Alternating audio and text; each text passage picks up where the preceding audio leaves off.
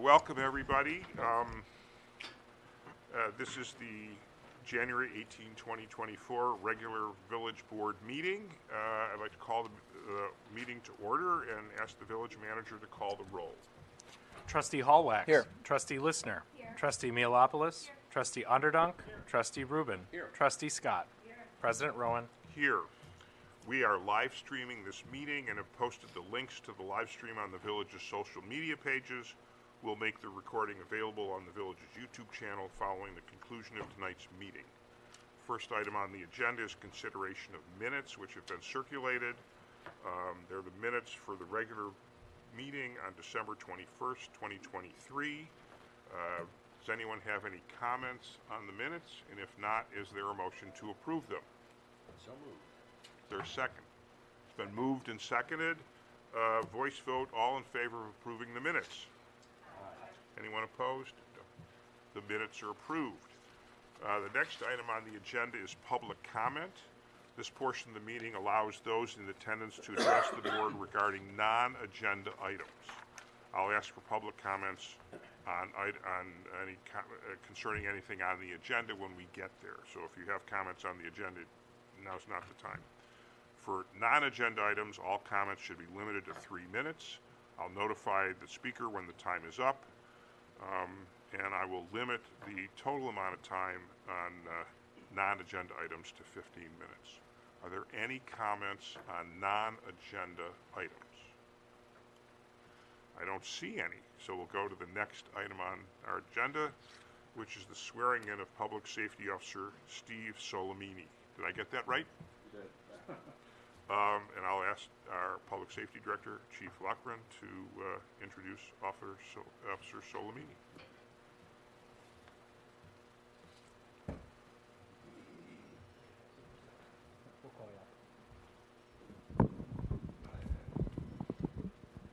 Okay, make sure we're functioning. Honorable President, uh, President Roin, village trustees, and village manager Kiraly, thank you for the opportunity to once again introduce another wonderful addition to the Glencoe Public Safety Team, Stephen Solomini. Stephen is joined here by his father Joe, his mother Laura, fiance Samantha, directly behind me, uh, his sister Jennifer Bellin, and his 10 year old niece Grace. And of note also two, two members of the Palatine Police Department, Ben Schulman and Nick Markham. Incidentally, if we're here and we want the opportunity, we could potentially get a threefer if we want to get those guys too. so I am, guys, just saying. So the Solomini family heralds from Wauconda, Wauconda, Illinois, where her parents Joe and Laura raised three boys and one girl. After graduating from Wauconda High School in 2011, Stephen attended Northern Illinois University, earning a bachelor degree in science in kinesiology. I had to look up what kinesiology exactly outlined. Kinesiology is, of course, as we all know, the science behind behaviors and performance, including physiology, biomechanics, psychology, and nutrition. With his formal studies completed, Stephen worked in the fitness industry and later in the residential restoration business. Ultimately, he was hired to manage the Renegade Gym in Wauconda, where he met his future fiancee, Samantha. Also in the business of personal fitness and increasing performance, Samantha owns her own personal training business. The two are engaged to wed on September 14th later this year. So, just of note, uh, Steve, congratulations. Please try to schedule it early. He has to be at work that night at 7 p.m. On midnights, probably for the next 10 years. So, how does Stephen come here? As a college junior, Stephen was invited on a ride along with a family friend on the Palatine Police Department, Joe Christians. He described it as simply exhilarating. But he was already firmly entrenched in the fitness studies with a lot of money invested in that, so it, it took a back seat. But the bug never left him, and he applied to several agencies throughout the years. With a desire to do more and support, uh, and with crucial support from his future wife, Stephen then showed tremendous courage. He became a police officer in the village of Palatine. But to put it in context for everyone, this is perhaps the most challenging time for law enforcement in years. In a time when it was tougher and tougher to convince people to even apply for law enforcement, Stephen did not just answer the call, but he flourished, becoming a helpful and productive member of a law enforcement agency. But after hearing from a good friend, Public Safety Officer Michael Vargas, about how exactly uh, how good Glencoe treats its employees, how members of the public safety team provide, are provided a positive environment, and how spe- especially the community of Glencoe supports its members of the public safety team. Stephen recognized where he wanted to be, right here. He began the hiring process on his two year anniversary, immediately switched over as a lateral hire. He came home. Ladies and gentlemen, I give you Public Safety Officer Stephen Solomini, badge number 664. Got that up in front? Steve, come on up, uh, and uh, you'll be sworn in now by Village Manager Kiraly to administer the oath of office. I would certainly hope that you'll be joined by your loved ones and everyone who came out in support to stand with him as he's sworn in. Please, please do so. Immediately after the swearing in, we'll take a brief, a brief recess so we can take some more photographs, and uh, they can adjourn, and we can get down to business. So, thank you. Yeah.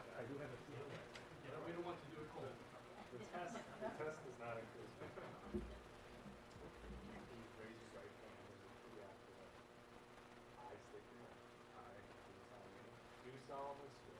Do solemnly swear. That I will support the Constitution of the United States. I will support the Constitution of the United States. The Constitution of the State of Illinois. The Constitution of the State of Illinois. And the ordinances of the Village of Glencoe. And ordinances of the Village of Glencoe. And that I will faithfully discharge. And I will faithfully discharge the duties of the position of Public Safety Officer. The duties of the position of Public Safety Officer. According to the best of my ability. According to the best of my ability. Congratulations.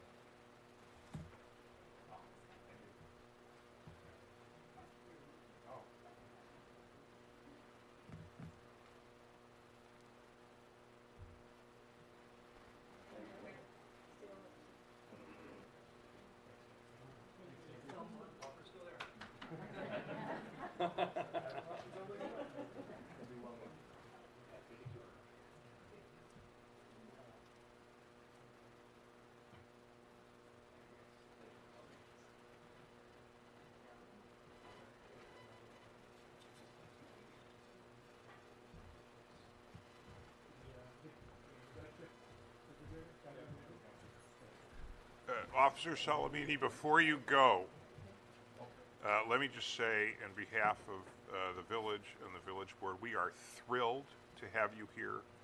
We are very proud of our public safety department, all of them. Uh, in Glencoe, the public safety officer is your friend. We know that. Uh, so, um, congratulations for joining us, and we congratulate ourselves for getting you. Yeah. Well, thank you guys very much. Truly an honor. Thank you. Oh, and the other Palatine guys. Not a commitment, but think about it. Look around, the, look around the village here. No pressure. You got an extra applications? Thanks, guys. Thank you guys. Thank you all.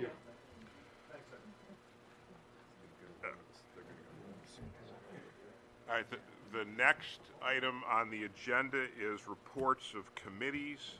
The first committee is a report on the committee of the whole meeting, which we just had um, uh, at 5:30 this afternoon.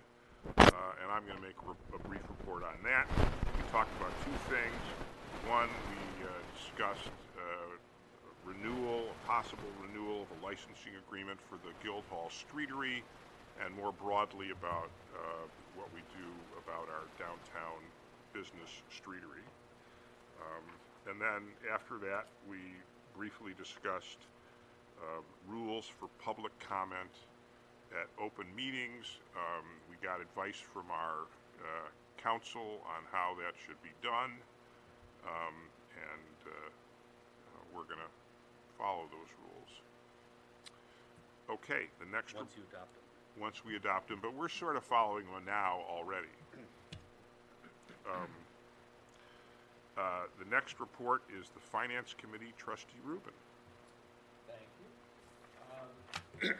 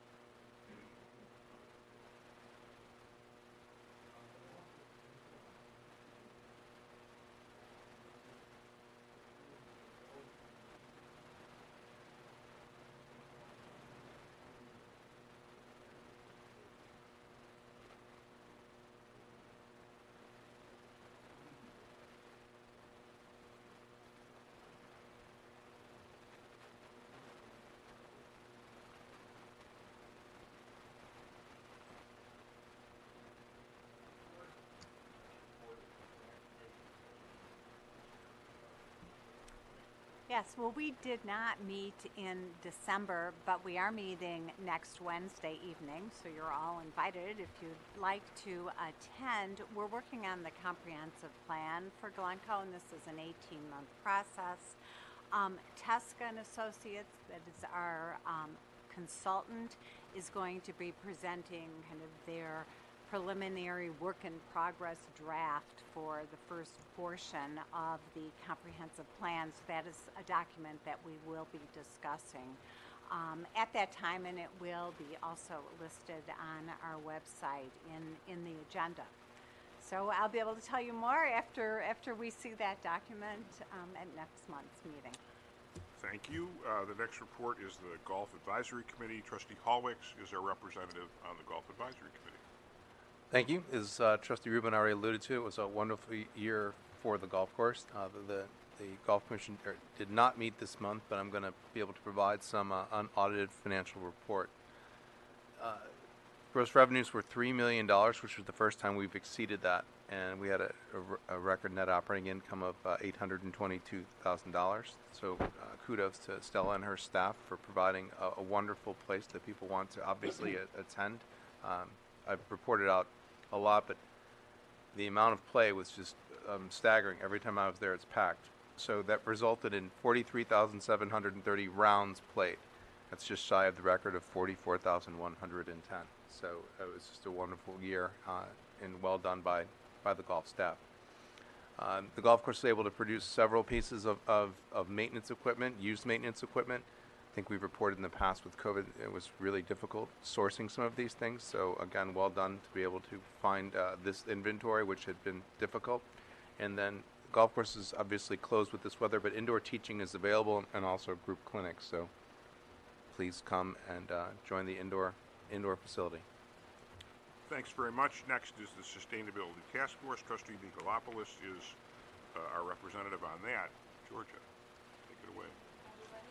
Um, yes, we also have not met since the December meeting, but nevertheless, we have been very busy promoting sustainability within the community. Um, we've been spreading, um, the word through our sustainability Sunday posts on the village's social media accounts.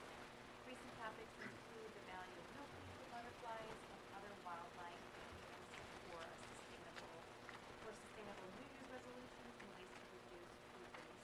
Um, additionally, the SBA also uses a local publication called Stroll Glencoe to spread its sustainability messages. Our December edition featured a review of our 2023 activities. Um, Additionally, on January 10th, the Glencoe Public Library held an educational program about electrifying your home, which was presented in sponsorship with the STM. So if you missed it, you can watch it on the library's YouTube channel. Um, our 2024 Donate and Recycle Date has already been scheduled for May 11th, 2024, so please mark your calendars. Our next meeting is next Tuesday at seven. Uh, last but not least, for those listening in the audience, we're always looking for volunteers, so please visit our website, villageofglencoe.org slash STL if you'd like to know more about our efforts and learn how to sign up. Thanks for that report. Um, Our representative on the Council for Inclusion and Community is Trustee Scott. Thank you. The Council for Inclusion and Community met on Wednesday, January 10th, and confirmed subcommittee assignments, with three members assigned to one of four subcommittees. Uh, The committees are Communications, Events, uh, Community Relations, and Integrating Community Feedback. Uh, The council discussed a process by which the subcommittees will report to the full council during monthly meetings. Last, the council discussed ideas for 2024 2024 events, including continued participation in annual events such as Pride Month, uh, the 4th of July, and Light the Lights, and then continuing events and activities um, with community partners such as Glencoe Youth Services, Writers Theater, and the library, creating a new, I'm sorry, creating a new community event focused on celebrating Glencoe and highlighting the community's diversity. Initial ideas for the event centered around elements such as multicultural food and music in the early summer timeframe. The event subcommittee will begin developing concepts to share with the full council at the next meeting. The council discussed the possibility of encouraging the village to make a statement later in 2024, ahead of the elections, regarding the importance of civility, being respectful and neighborly to all, and civil discourse. The idea of a statement was favored as an alternative to another idea for an event that was raised at the meeting and was not supported by the majority of the council. The next council meeting is scheduled for February 7th, 2024. Thanks for that report. And our last report is on the Preservation Commission. Trustee Underdunk is our representative on that. Thank you. The commission met on January 7th in a special meeting. A public hearing was held regarding a certificate of appropriateness application for fence replacement at 750 Glencoe Drive. The Gurney Mansion is a 180-year-old historic landmark property with restrictions. Changes need the commission's approval. Uh, The owner would like to replace the present metal fence with a wood picket fence. The commission had concerns with the proposed closely spaced fence, pickets in the fence, and as it would not reflect the Second Empire style of the building. And it would block the view of the building at the, of the, I'm sorry, it would block the view of the front of the house. Uh, After discussing uh, the matter, the commission agreed to approve a certificate of appropriateness with, with the condition that the fence pickets be spaced at least two inches apart. And that's to preserve the view of this historic building, one of the oldest buildings in the village. Uh, Also, a demolition permit application was received for an honorary landmark at 976 Oak Terrace. Uh, The owner would like to demolish the present 130-year-old home and replace it with a smaller, modern home with a lower profile. The present home is recognized nationally as a uh, excellent representation of an arts and crafts uh, home and architecture by a well-known architect. While the committee can't stop the demolition, they urge the owner to engage an architect who can design a new home of equal architectural merit. No action was taken on the proposal. And finally, the commission held a pre-submittal discussion with uh, an architect, Lisa Rizzolo, concerning a landmark property at 80 Estate Drive.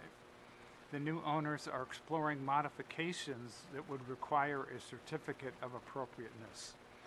The commission reviewed possible small temporary changes that could easily be reversed in the future so as not to destroy the landmark elements.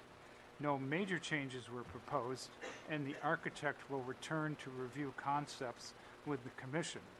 Uh, the commission's especially uh, excited about this approach where uh, we have many people with wonderful resources on that commission and uh, they can help guide uh, an appropriate uh, preservation of the property. Thank you very much. Oh, next meeting is February 7th. Uh, Thanks for that report. That concludes the reports of committees. So the next item on the agenda is the reports of officers, and first on that is the village manager's report. So, Village Manager Kiraly, your turn. Good evening. Thank you, everyone. A few items tonight that I'd like to just share a bit of information about. The first of which uh, relates to uh, the, the long duration winter storm uh, that we had uh, that started last Friday and concluded on Monday. Um, we were in a significant storm response, which included snow and ice control operations during that entire nearly four day window. Uh, in addition, there were several ComEd outages across the community caused by those by impacts from that storm, uh, and those affected uh, Glencoe uh, in some cases from 8:30 a.m. on Friday through late Saturday afternoon. Uh, many of those outages were caused by trees and/or tree limbs that fell and impacted ComEd's infrastructure during the early parts of that Friday storm when we had very heavy snow and high winds uh, blow through the community. Uh, in addition, there were a variety of service outages uh, impacted more from the extreme cold than from uh, tree damage uh, that set in, extreme cold that set in on late Saturday, uh, which impacted a number of Comcast customers across the community. Uh, in addition, Friday garbage collections were canceled by LRS due to system wide impacts for their operations, and unfortunately, many of those customers were not serviced until Wednesday this week. Um, I just wanted to share we are planning to meet with LRS to understand what caused the service disruptions to be so significant. Um, initially, they were saying that the, the Friday collections would be uh, delayed an entire week uh, and we were able to work with them to move that date up. But they were dealing with uh, a number of issues throughout all the communities that they serve. Uh, but we want to understand better uh, what caused it and why, uh, and what they are planning to do to deal with that.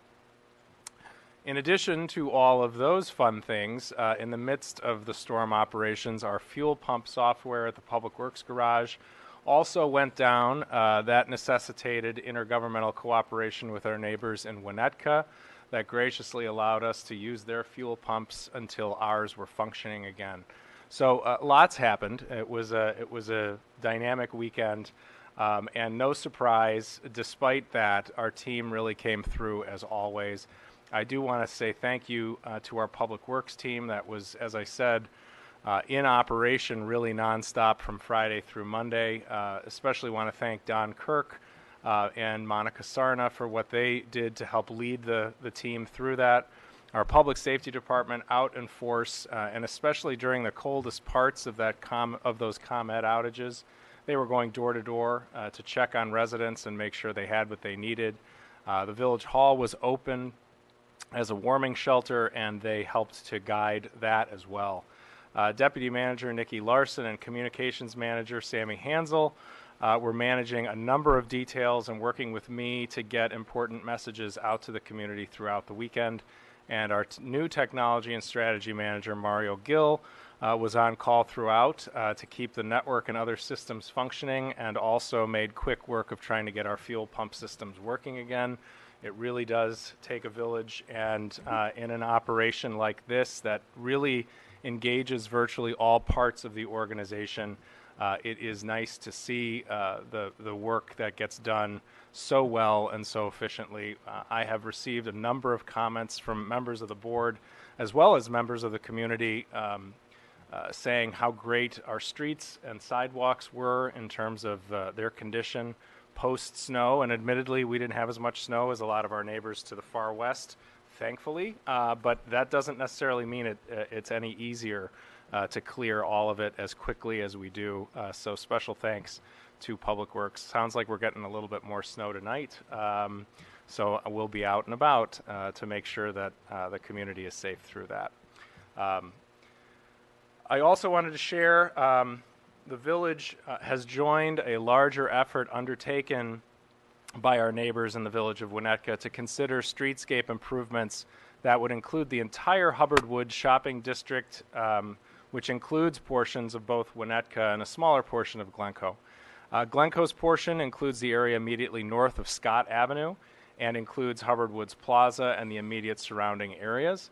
Um, hundreds of Winnetka and Glencoe residents filled out surveys uh, that were facilitated by Teska Associates, who uh, have been engaged by the village of Winnetka, uh, asking about the future improvements. And there is an open house event that's been scheduled uh, to review some possible plan recommendations very early in this process. That event takes place on Tuesday, January 30th from 5:30 to 7:30 p.m. at Town and Oak, which is at 921 Green Bay Road in Winnetka. Um, it's just another, uh, I think, very positive example of partnership between our two communities, and uh, important to underscore the fact that the Hubbard Woods Shopping District is beneficial to both Glencoe and import- Glencoe and Winnetka, and important to both of us. So, uh, glad to be able to work with them on this, and we look forward to those recommendations coming back later this year. Um, on Tuesday, there were some folks uh, in this room uh, that had the exciting opportunity to formally welcome Glencoe's newest business, Honey Butter Fried Chicken, uh, to our downtown. Uh, they had a ribbon cutting ceremony uh, facilitated by our Chamber of Commerce at their location at 668 Vernon Avenue. Honey Butter Fried Chicken uh, has a, a single location in the city of Chicago. This is their second standalone uh, restaurant operation. Uh, we are thrilled to have them join our downtown uh, business community. Uh, I can't tell you the number of people over the past several months who have reached out to me asking about uh, the timeline. When is Honey Butter opening? We can't wait. It's one of our favorite restaurants in the city. We can't believe it's going to be on the North Shore. What an amazing addition. We're so excited. So, uh, uh, my hope and expectation is that uh, they're going to be very successful here in Glencoe, and we're thrilled to welcome them uh, at that at that location on Vernon Avenue. Uh, and last but not least, um, we say goodbye this evening to a uh, village employee. Uh, John Pape, our assistant to the village manager, is leaving us. Tomorrow's his last day. Um, he is taking a promotion uh, with the village of Hoffman Estates. Uh, that also happens to be his hometown and the community in which his parents still live. Um, John has been with us for a little less than two years um, and has had the unfortunate circumstance of being, uh, being seated at the desk immediately outside my door. Um, John's the fourth person since I've been the village manager to occupy that seat and probably is the one who has managed to figure me out fastest in terms of how both to calm me down when um, my head is about to explode and uh, provide thoughtful and very, very beneficial counsel uh, in the day-to-day operations of this uh, of this organization. To say uh, we're going to miss you, John, is uh, about as big an understatement as I can make. Uh, your less than two years here have been incredibly successful. Um, you have touched vast majority of the operational areas in this organization. You have, as I said, provided sound counsel uh, thoughtful advice, uh, a, a uh, dry wit, which I appreciate on the regular, uh, a smile when I walk in the door. Uh, coming in on Monday will be a less exciting day for me uh, because you won't be here with us. But um, I also must say that I am always so proud to see Glencoe employees uh, who have given of themselves uh, to this organization and to this community um, grow and become more successful as they leave us. Uh, Glencoe has a history of wonderful, amazing people um, gracing our presence for a period of time and then moving on to change the world in better ways uh, elsewhere. And uh, John will add his name to that list uh, very effectively. Um, so we're going to miss you, John. Got to come back and visit. Um, he is leaving, incidentally, just as we tear apart literally half of the first floor. Um, on Monday, we will start ripping out carpeting uh, in uh, two large office areas, and uh, the following Monday, we'll be installing pieces of new furniture and rearranging furniture. And somehow he managed to schedule this just so that he can wave goodbye to us as we all pack up boxes and move things around. Um, I, I got to just say that's excellent planning on his part, uh, which I think just speaks to his capabilities. But um, John, we're going to miss you. I did dig out a baby picture of you, which Sammy told me uh, I can't get into the PowerPoint presentation because John controls the PowerPoint presentation, which I don't think is very fair. But, but I have it on my computer, and I will hold it up for the benefit of all. This is what John looked like when he started. And now look Put a at him. on it. And now look at him. So, all joking aside, we are going to miss you, John. I thank you for what you've contributed and look forward to hearing about everything you're going to do changing the world outside of our outside of our world. Uh, Let me very briefly say, um, so, one thing that's happened that I think your fellow staff members might object to, the lesson we learn here is we just promoted the guy and he immediately leaves. So, you know, we could learn the lesson, well, just freeze them all. But we're gonna try not to, actually, in all seriousness, you have been terrific. We were lucky while we had you here. Um, all of us relied on your counsel. Um, and Hoffman Estates is lucky to get you. But I, you know, I hope you remember your friends in Glencoe. And, um, you know, maybe we'll find a way to hire you back.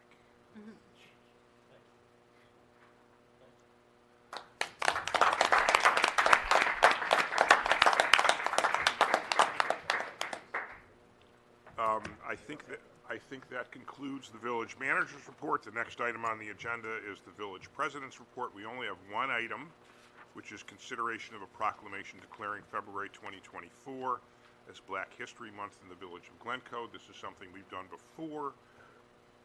The- The proclamation is, uh, it was circulated to the board, it's been published uh, online, so unless there are any further comments, is there a motion to approve the proclamation?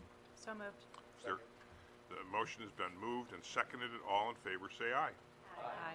Anyone opposed? No. The motion carries, and the proclamation has been issued. The next item on the agenda is our consent agenda. The consent agenda includes items that have been published online for the community, and they've been reviewed by the board, either individually or as part of a committee of the whole.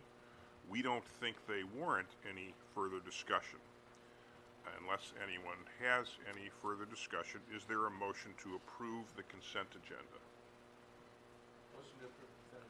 Is there a second? Second. On this, we need a roll call vote, so Village Manager Kiraly. Trustee Hallwax. Yes. Trustee Lissner. Yes. Trustee Nicolopoulos. Trustee Underdunk. Trustee Rubin. Yes. Trustee Scott. Yes. The consent agenda is passed. The next item on the agenda is regular business. And the first item of regular business is consideration of an ordinance amending provisions of the Glencoe Village Code and the village's fee and fine schedule regarding unscheduled stops by intercity buses. and I'll ask our Deputy Village Manager and CFO, Nikki Larson, to present. We may also get some comments from our village manager, from our Public Safety Director, and from our village attorney. But let's start with uh, CFO Larson. Okay, good evening. The ordinance before you this evening has been developed due to a recent increases in unscheduled, unannounced one-way bus traffic impacting our region, which has resulted in dangerous, inhumane conditions for pas- passengers who have in some cases been abandoned in municipalities with few resources at their disposal.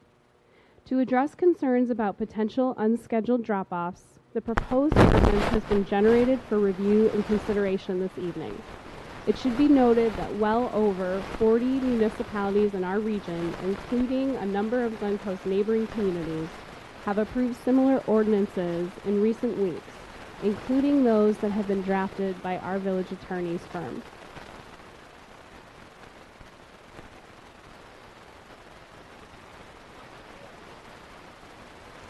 Larson is correct. We have drafted a number of ordinances, as have municipal attorneys throughout the state, um, in recent weeks. I, I want to point out that while the use of the word similar is correct, there are some important distinctions in the ordinances that my firm has drafted for, um, various municipalities. And that, those distinctions are based in an attempt to uh, address constitutionality issues. Um, You will see that our ordinance is very generic. Our ordinance does not um, address anything to do with passengers or of passengers. And indeed, it is an ordinance, and you should be aware of this as you proceed with this. It's an ordinance that applies to buses. All buses that fit into this category are covered. So, uh, and we can talk about this as you go further, but I just want, I want to start with that and let um, Ms. Larson continue with the presentation. Thank you. Thank you. As Attorney Elrod just stated, um, the proposed ordinance would apply to all one-way transportation providers of 10 or more passengers originating from a location outside of the village that is not a regularly scheduled service. The owner, operator, or driver of an intercity bus must complete a pre-registration process with the Public Safety Department and complete the drop-off within the hours of 8 a.m. to 4 p.m. Monday through Friday. To obtain advanced approval of a stop, an application must be provided to the Public Safety Department at least five business days before the date of the proposed stop. In drafting and considering this ordinance, the village is seeking to advocate for the health, safety, and well-being of the bus passengers, including migrants, a consideration that is in, within the core principles of the village of Glencoe for all that reside in our community. The ordinance has been included in this packet in the packet this evening, and at this time, I, the village manager, the village attorney, or our public safety director are happy to answer any of the questions that you may have. Before we do that, um, we sometimes vary as to when we have public comment, and when we have village discussion. I believe we have three people who have signed up to do public comment. So what I want to do is to invite them one at a time, to do public comment, and, and I want to remind everybody of what the rules are for public comment three minutes per person unless um, someone is speaking in behalf of a group of the people here, in which case uh, we might extend it. But I don't see any, everybody who signed up says they're speaking themselves. So with that, I'll invite public comment first. Uh, Nancy Goodman. Uh, Do you want, uh, Lee, you want to be first? Okay. Yes. Rabbi Elder, Bruce Elder, come on up.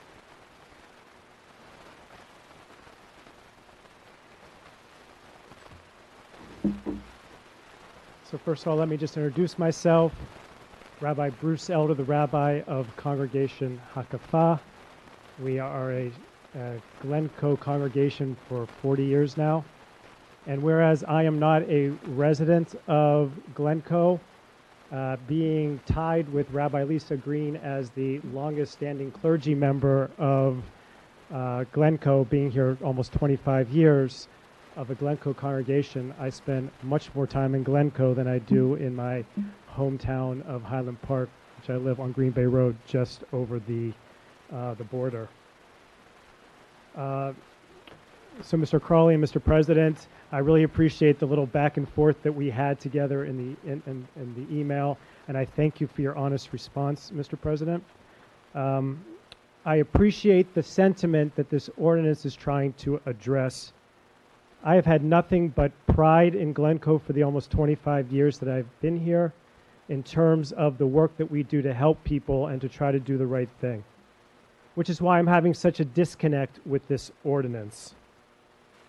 Given the work of um, Glencoe in preparing for the eventuality of folks being dropped off here, which I applaud and which Hakafa will gladly support, I don't understand why this ordinance requires a five day notice of the bus company. Given the fact that the bus companies have a good coordination with the train schedules, that there have all the drop offs in all of the uh, metropolitan area outside of Chicago, there have been very few documented bad drop offs. I've only heard of less than a handful. And as the mayor of Berwyn reported and was documented in the newspaper, that the majority of these have been smooth transitions, which they all have the migrants, the asylum seekers have tickets in hand, which is acknowledged, I know that, that they just get on the, bu- the, the train and go into the city. I can't understand, once again, what the five day notification will accomplish. Governor Abbott of Texas is playing a cruel political game using asylum seekers who are legally allowed to seek asylum in our country as political pawns.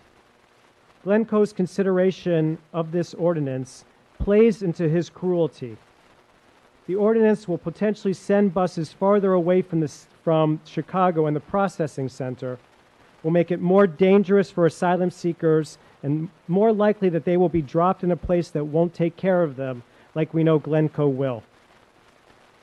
If we really have the best interests of asylum seekers at heart, and if we don't want to add fuel to Governor Abbott's cynicism, and if the village really doesn't need five days to get carrying kits to passengers, and if the coordination is relatively smooth via a bus via the bus train and train schedules and getting asylum seekers into Chicago, why do we need this ordinance? I don't understand what's really behind it. Again, I understand you want some warning. But the bus companies themselves do not know five days in advance where they are going to be sending people. So there's really, I'm really here because there's a real disconnect in what we're trying to do. Wilmette has not passed an ordinance. Northbrook hasn't either. Just because most have, why should Glencoe? Furthermore, let me just finish. If Hakafa drops off members from a bus that originated in Wilmette, will we need to apply for permission? Um, So. The bus company that I- is that this I- is I don't wanna- addressing, I don't want to debate. you can. I- I'm, I- And, and we're not going to do that. I apologize. Um, You've used up your time. I will stop. I'm a rabbi. I could talk forever. Thank you very much, and- Mr. President. And, and let, let me just explain. We just had a presentation from our village attorney who said if you have these limitations on time, you can't pick favorites and let people you like talk talk for longer. So I appreciate with all that. respect, thank you for your presentation. Thank you. Thank you. Um, okay. Next, um, Nancy Good. Well, okay. All right. Um, wel- welcome, Mr. Goodman. This is not going to count against your time. Um, we're not going to hold against you that we were both in the class of 67 at Central School. That's right. We are not going to hold against you that your mom was on the Glencoe Village Board. Uh, This is the first time in all of my involvement with the Glencoe Village Board that anybody's talked to us whose parent was on the village board. So I want to congratulate you. Um, And with that, you have three minutes. Thank you very much. Uh, You're going to say that you're doing this out of concern for people who are getting off the bus, specifically for migrants, but this ordinance has been very carefully designed by a very competent attorney to have the effect of not letting migrants set foot in your town. How do we know it's aimed at migrants? Well, there's a context, isn't there? You've all acknowledged that dozens of other towns have debated and passed ordinances like that. The transmittal letter to your village board from your village attorney, excuse me, from your village manager speaks of migrants. It's already come up in the discussions. And you've never been concerned before the last few weeks about any bus except for since the migrant buses started landing. To say that this ordinance is not about migrants is pretty much the same as saying the Civil War wasn't about slavery. It might be different if you were going to require every busload of people going to the Botanic Garden, and I, I don't know if that's actually within your jurisdiction or not, but going to Am Shalom or North Shore Israel or St. Paul's or St. Elizabeth's or the Union Church, if you were going to require all of them to get permits, but I'm pretty sure you're not, I don't think you're going to send kids to Chicago when they're trying to get home from summer camp and say you can't get off in your own hometown. And I don't think you're going to enforce it against all sorts of other things like sports teams who come to town to play.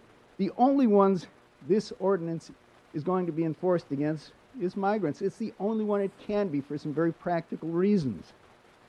The evil genius of this ordinance is that because it will only apply to migrants, it will be impossible for the companies, the bus companies, to apply for permits.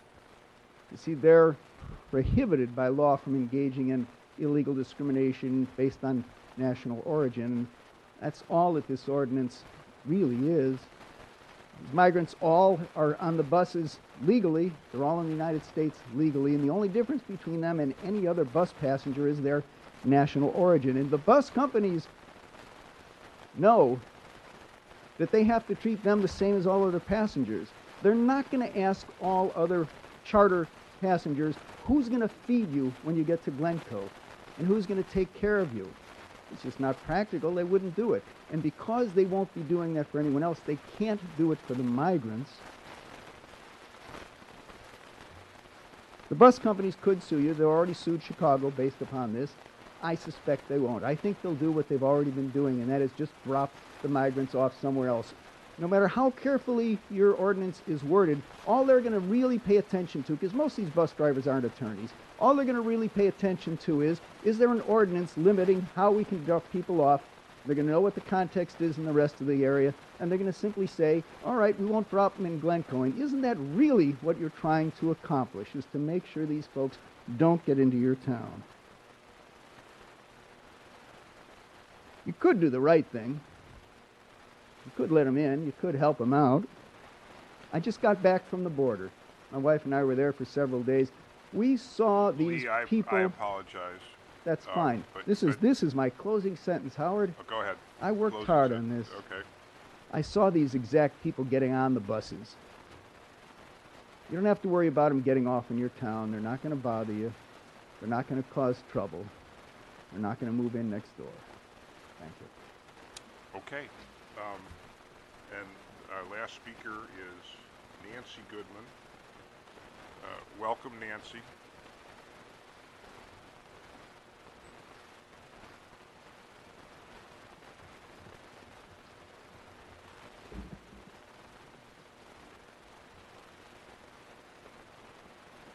Good evening. Uh, my name is Nancy Goodman, and I also live in Northbrook. I was on that same trip to the border with my husband with a group called Witness at the Border, which is a national immigrant adv- adv- advocacy group. Um, and one of the things we did while we were there was to visit the coroner's office in Pima County, uh, which is where Tucson is located. The medical examiner there spent an hour and a half with us, showing us pictures describing the work that they do to identify the remains of migrants who are found in the desert.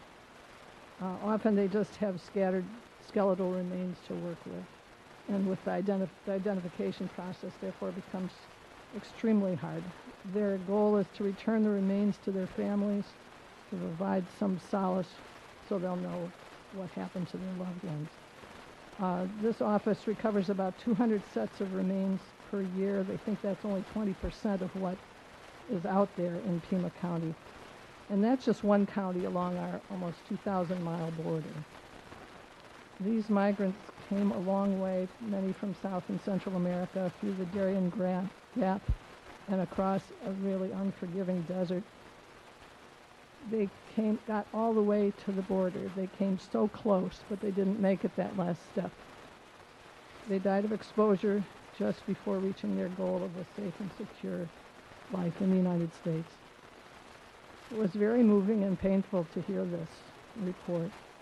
And I could only imagine the desperation they must have felt to flee the violence and danger in their home countries that forced them to take this journey, and which for some was deadly. The migrants on the buses coming to Chicago are this, the same people. They're now taking their last step.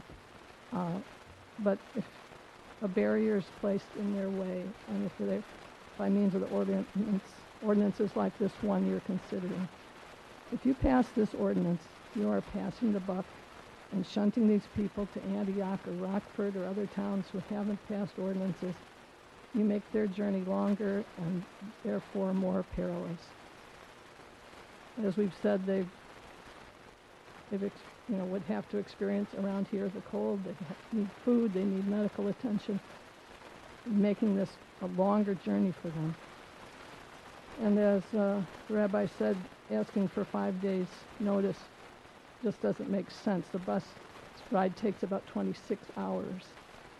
Th- They won't know five days in advance who they're taking or where. So this demand for notice just appears to be a way to make them, the migrants, somebody else's problem. I've heard Glencoe described as a small village without the ability to absorb the migrants. But Glencoe isn't small in resources or generosity or connections. The suburbs and the municipal conference could work together to provide shelter or 24 7 transit help. Governor Pritzker has offered funds to do so. Volunteers are ready to help. All of the care packages that people are assembling aren't worth much if the migrants can't get off the bus. Please don't make their last step to freedom and security a closed door, and please don't pass this ordinance. Thank you. Thank you, uh, Mrs. Goodman. I, that concludes the public comment. All three of the folks who signed up have, have spoken. So now is an opportunity for the board to talk about the ordinance we've been proposed. Let me say um, a couple things about the, the comments we heard from the speakers. Um, a- and, let me say, know, we got correspondence from Rabbi Elder and others in the Clergy Association because we notified them as to what we were thinking about. Um, I, I will make, I could say as clearly as I can, this is not an anti-migrant ordinance. That's not the intent. Let me just say, you know, Glencoe does not have a border policy. You know, we're a village, a non-home rule village um, in Illinois. We don't have a border policy. We don't have a foreign policy. Um, we may have uh, differing views on what should be done with migrants. You know, my last trial before I retired was representing um, Haitians in the United States who were here under something called TPS, Temporary Protected Status, and the Trump administration wanted to boot them out. And I am proud to say that we successfully sued. We had a trial in uh, federal court in New York to invalidate their efforts to throw them out so they could stay. Um, so I, we, we've not talked about migrants among, amongst ourselves, and now, you know, this isn't about migrants.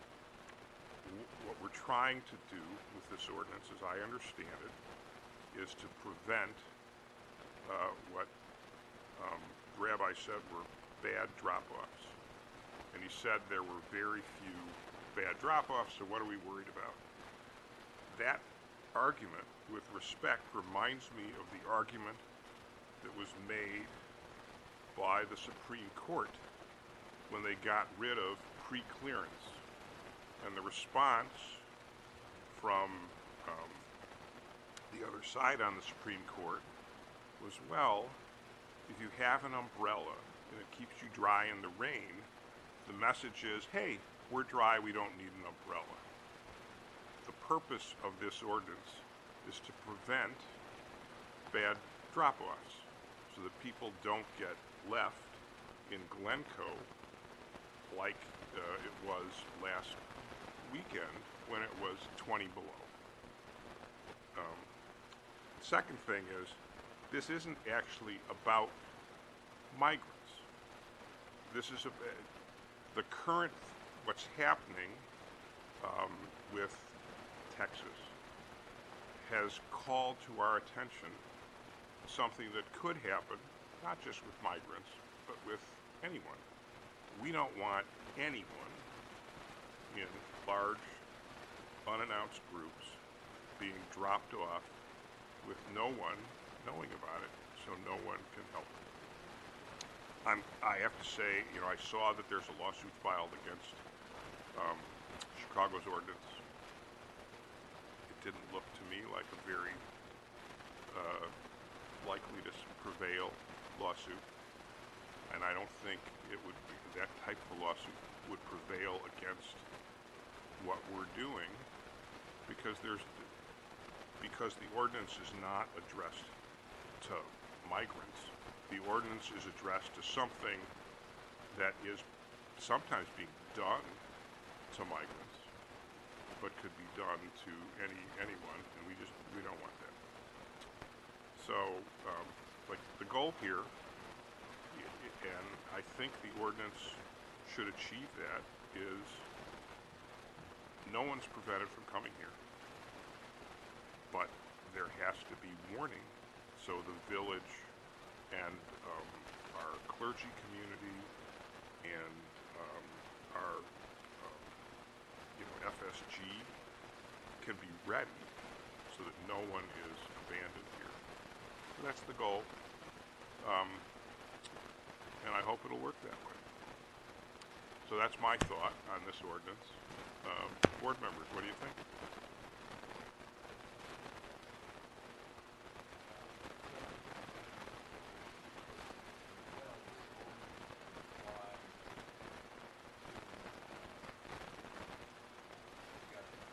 sporting event, school dropping kids and parents this year off.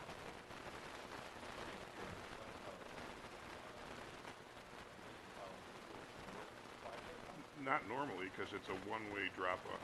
It only applies to a one-way drop-off. But let's be clear, yes, it would. If it is If- a if- one-way, um, unscheduled, non-fair drop-off, yes, it would.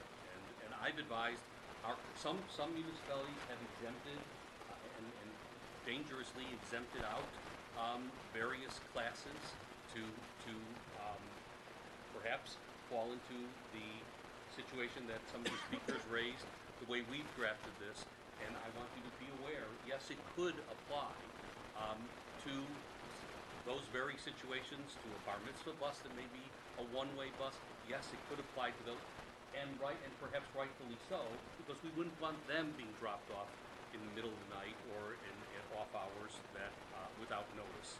Um, But the vast majority of them that I can track them from that, that are, uh, principal, or train stations are two. That's correct. Right, I, so I, when it, my, when you draft an ordinance, you do the best you can. And we think this is, ordinance is targeted to p- potentially dangerous situations. Um, Just another technical question. Um, the, f- what about the five days? What, what is, what is, is there something meaningful or intentional about five days versus three days versus 26 hours? I, I, my understanding was that it's really about, pre- for us, it's about preparedness and wanting to provide for um, these drop-offs in, in intentional and, and thoughtful and caring ways. Um, tell me more about the timing. So again, you do the best you can. Okay. And you could, and I, I can imagine someone saying, well, okay, what if it's one bus? Uh, maybe, you know, maybe two days would be okay, but what if it's 20 buses and they, they just start coming? The idea is we would need to prepare and we would need to have an opportunity for our, uh, the, the faith community and uh, uh, family services and whoever wants to help to prepare. And so that's the reason for the five days. And with respect, this seems to me something that would not be impossible to comply with. It would be easy to comply with. I mean, and, you know, I don't want to, the ordinance is not just focused on migrants, but, you know, a lot of the buses have been coming from Texas. They're spent, you know, they spent north of a hundred million dollars sending people around the country. And they're, you know, with that kind of an enterprise, five-day notice, not hard. So I think it, it's not hard to comply with, really. Um, and there's a reason why you might need it. And, uh, the goal is so that we're ready. So we can help the innocent people on the buses. More questions? Sorry. Absolutely. Um, so, with regard to preparedness, it seems to me there's a lot of things that we've discussed doing to help be ready. Um, so this is more of a question for staff. Um, what, what are the ways that the village is prepared to meet buses of people who are potentially unprepared for the cold? Um, So there's several things that have already been put into place uh, since uh, buses began arriving in this region. Um, and that relates to emergency response and ensuring that our public safety department um, is uh, prepared to uh, provide the kind of services that our public safety department would provide to anyone within our municipal boundaries. But uh, that's been augmented to assure that we are aware of um, times and places that uh, refuge may need to be sought. We are working with our uh, colleagues at Cook County uh, and our emergency management partners at Cook County, uh, under whom we uh, take the lead um, when such situations present themselves. Um, the, the department and the village staff have been uh, focused on assuring that we have resources available if uh, an unscheduled bus is uh, uh, in the community. Uh, and that includes things like um, the very basics, water, um, even uh, some food available. Those things have begun to be assembled by our team. Um, we have been approached by our partners at Family Service of Glencoe who have indicated uh, an interest in um, finding a way to um, source and uh, aggregate uh, something that they're calling community care bags that could be available. Um, and I think it's important to note that even with an ordinance in place, that doesn't stop or negate the possibility of an unscheduled bus that may require services. And I think um, as we have tried to articulate, uh, regardless of the conditions uh, that those individuals may arrive in our community, we want to make sure that we're providing them equal service, uh, regardless, again, of whatever conditions there may be. Um, I would say that's true uh, of, a, of a baseball team or uh, of, a, of a migrant group who need um, the village to be there for them in the, in the case of, of a situation like this. So those care bags are being assembled uh, already. We will be sharing information. Family Service will be uh, pushing information out starting tomorrow on that. They've begun working with um, our clergy uh, and our faith communities to um, uh, again begin the process of assembling all of those, which will be made available to the Public Safety Department if they're needed. Um, and uh, if they're not needed in this community, they would be shared with a community that may need them um, in an effort to assure that those resources are getting where they're, where they're needed most. Um, final. Let- let me- let me just give it- How much, I think we'll do better in providing for folks that drop off here. Without a doubt. Um, question, I just want to tease something out from what you just said, Phil. Um, just, seems to me there's not a material difference in terms of how the passengers are treated, regardless of whether they are scheduled or unscheduled. They'll still be treated by a clergy association or whomever signs up for that task and provided with care bags and escorted safely to their next destination. So for the passengers, the experience is the same. It's what happens, we're trying to disincentivize behavior on, on the part of the bus companies. Yes, and I would say that that's absolutely right. From the standpoint of how we would seek to treat any and all passengers, we would seek to do so on an equal basis. Where I would say that is less easy to do is when we are caught unawares. And if it's the middle of the night, if resources can't be readily uh, accessible through the clergy, even through our own staff, um, not knowing um, what may be needed, medical attention, other things as well. Uh, so I, I would say we will make every attempt, as we always would, to treat everyone with the same level of respect, care, and um, uh, respect and care at, regardless of the circumstances. Um, but it is uh, uh, it is more of a challenge if that happens when we when we cannot be prepared for it.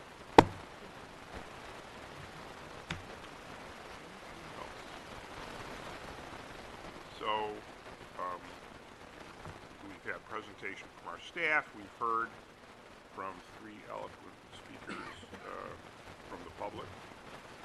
Um, not all Glencoe residents, but former residents, almost residents. Um, and then we've, we've gotten a number of questions. Uh, we have an ordinance drafted by our village attorney. Um, Is there a motion to adopt the ordinance? Motion to adopt the ordinance. Is there a second? Let's have a roll call, please. Trustee Hallwax, Yes. Trustee Lissner, Trustee Nicolopoulos, Trustee Onderdonk, Trustee Rubin, Trustee Scott. Uh, The motion carries and the ordinance is adopted. Thank you, everybody. Um, The next item on the regular business agenda is referral to the zoning commission of propo- proposed sign code amendments, and I'll ask our Development Services Director, Taylor Baxter, to present. Thank you, President Roin, members of the board. I am back once again to talk about our sign code.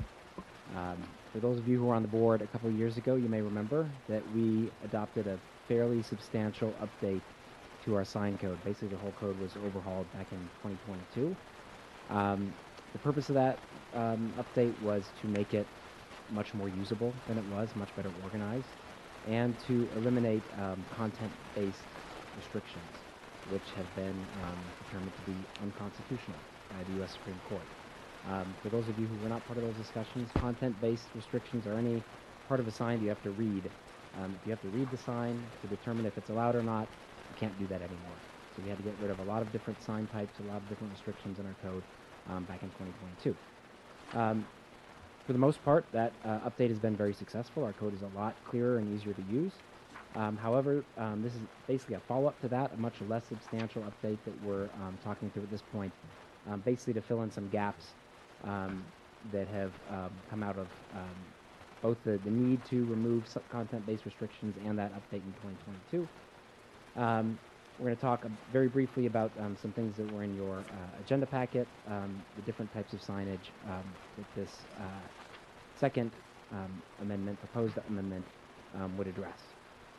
Um, three of these, directional signage in business districts, permanent secondary wall signs, and non-residential signs in residential districts, all of these were previously regulated through content-based sign types um, in our pre-2022 code.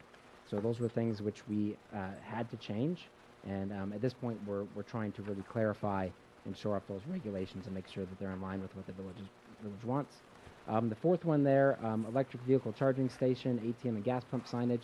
That's a new one that really came out of the recent discussions we had with the Plan Commission um, and the Sustainability Task Force um, about what um, we want the appearance of specifically electric vehicle charging stations to be downtown. And through those discussions, staff has come to the, um, we've basically decided that, uh, you know, while they could be permitted through our existing wall and um, ground signage, those are sufficiently different types of structures that they should probably be given their own sign type as opposed to the types of signs we see on um, buildings. Um, this is part of the zoning code, so this is a three-step process. The first um, step is where we are today. Number one, initial village board considerations. You can either deny this outright, say we don't want to do it, or you can refer it to the zoning commission for a public hearing. Um, the zoning commission will have a public hearing, make a recommendation um, back to the village board for final consideration at a later date. So we're in step one today. Um, these are all uh, in your packet, so I'm not going to spend too much time on them. But if you'd like me to slow down and dive uh, more deeply into any of these, please uh, let me know. Um, the first, uh, directional signage in business districts. Current these, these were previously um, content based. We can no longer allow these signs just based on the content that are, is in them. Um, they uh, in 2022 we created a new um, non-content based sign type called access safety signs. Um, really designed to allow people to navigate parking lots or drive-throughs, things like that. Um, they're dependent on plan commission review. Um, that update only allowed them in the highway frontage district. There are a couple of these um, downtown. We've had um, owners of drive-throughs, specifically Bank, asking about replacing them. There's not a provision to replace them in our current code. Um, so the question that you and the zoning commission um, would discuss is, should we add the same new sign type, access safety signs, um, to the downtown district um, that currently exists in the highway frontage district. Permanent secondary wall signs. Again, these were previously content based. You could allow these based on what they said. You can't do that anymore. Um, in 2022, we created a new sign type called standard informational signs. Um, these are really intended to be small signs on both residential and commercial properties. Um, standard informational signs, by definition, are only temporary signs. These signs we're talking about tonight are permanent signs, like the one you see there, um, which similar signs are throughout downtown. Um, so there's not really a way to allow these in our current code if they are permanent signs. So there are a few different options we can talk about. Um, number one would be to disallow these as permanent signs. Number two would be to change the definition of standard informational signs to make them permanent, allow them to be permanent. And the third would be to create a new sign type, which is kind of an accessory, accessory um, wall sign to allow smaller permanent um, wall signs. Um, the third option there, you would need a permit for them. Um, standard informational signs, you don't need a permit for them. Um, I think the biggest um, new, new item for discussion would be non-residential signs in residential districts. Um, we have a lot of non-residential uses throughout the village and residential districts, schools, parks, churches, synagogues, golf courses. Um, again, these were previously regulated by content. We could say you can or can't have a sign based on what the sign said. We can no longer do that. Um, the old code allowed wall or ground signage of up to 100 square feet on these non-residential um, non-residential uses in residential districts, which are pretty big signs, very big signs, um, but with content-based restrictions. So we could say you can't have that sign because it doesn't say the right thing. Um, we don't have that anymore. Um, so this is something that I think that the zoning commission, the village board should consider um, what the appropriate amount of wall and ground signage for churches, synagogues, other non-residential uses in our residential districts might be. Um, also, should they be illuminated or not? And finally, should they be allowed by right um, with just an administrative review, or should they have ZBA or Plan Commission review? Um, there's a lot of examples which I put in the um, agenda packet. Um, none of those were intended to um, give the impression that any of these updates would require the removal of pre-existing signs. Um, we're not proposing any any loss of grandfa- grandfathering for legally non-conforming signs. At this point, what we really want to discuss is, you know, what's an appropriate size for um, for these signs, now that we can only regulate them based on size, shape, location, illumination, number, as opposed to what they do or don't say. Um, finally, uh, our freestanding, this is a new sign type, freestanding electric vehicle charging stations, ATMs, gas pump signs. There's really, it's, these have previously been um, approved either by variation or as um, wall signs. Um, these are such small structures, you probably don't want to have the same size allowances for these things as you would for a, uh, a typical wall sign. So we're, we're recommending a new sign type being defined in the code with a very small um, size allowance um, uh, for these for signage on these signs um, to allow things uh, you know like the EV and the uh, the charge when it says charge point there at the top, which would be considered signs um, on a very limited basis. So those are the four things. There's some other minor cleanup things which I don't think we need to discuss at this point. Um, some more technical things in the in the code. Um, I'm happy to discuss any of those in more detail if you'd like. Um, or uh, if you'd like to move on to a motion, you can either move to um, refer this to the zoning commission for a public hearing and a recommendation. Um, you can also include any direction you'd like to the zoning commission for their discussion or for staff to prepare for that public hearing this time. Happy to an- answer any questions you might have. Let me just say, um, you know, we've talked about this general subject before, and, and about, we had a number of discussions with our lawyers, telling us why we needed to do it. Uh, you're now sort of fleshing out ways we might do it. Um, I think we should get the benefit of our um, zoning commission. We like them. And a public hearing. And then we really can sort of flesh this out with the benefit with, of what they've said. And I don't think it's be particularly useful for us to tell them what they're supposed to say. I'd rather hear from them uh, in court land. You know, this is why the Supreme Court says we'd like to hear this from the Court of Appeals first. The Court of Appeals said we need to hear it from the district court first. So, so I would recommend that we refer this issue to the zoning commission, and staff should, you know, prepare for them the various alternatives. They'll consider it, they'll have a public hearing, and then we'll get the benefit of their wisdom. Anyone wanna, eh, Dudley, you wanna? Anyone wanna say anything else? Otherwise, is there a motion to refer, uh, these issues to the zoning commission? Is there a second? It's been moved and seconded, let's have a roll call. Trustee Hallwax. Trustee Lissner. Trustee Nicolopoulos. Trustee Onderdonk. Trustee Rubin. Trustee Scott. Yes. Motion carries, it's referred to the zoning commission. Thank you, everybody. That concludes our uh, regular business. Is there any other business before we uh, move to a closed session? If not, is there a motion to move to a closed session pursuant to uh, the Open Meetings Act for 21C21 review of closed session minutes? Is there a second? I think we need a roll call for that. Yes, yes, you do. Trustee Hallwax. Yes. Trustee Lissner. Trustee Nicolopoulos. Trustee Onderdonk. Trustee Rubin. Trustee Scott. Yes. Thank you, everyone. That concludes our open meeting. We'll adjourn downstairs.